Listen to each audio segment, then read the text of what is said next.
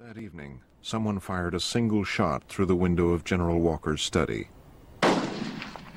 Looking the situation over, back there 40 steps behind me is an, General Walker survived to tell what happened.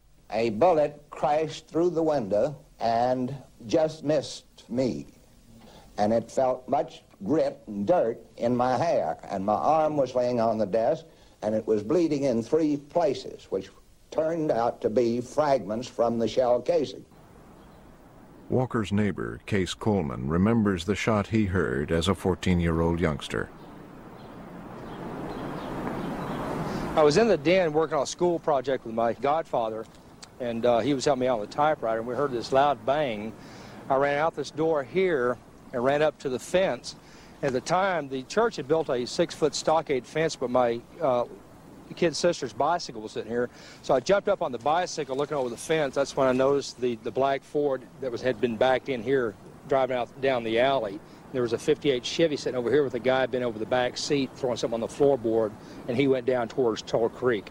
I can see it now, looking at the 58 Chevy sitting down there. It's very vivid, very vivid.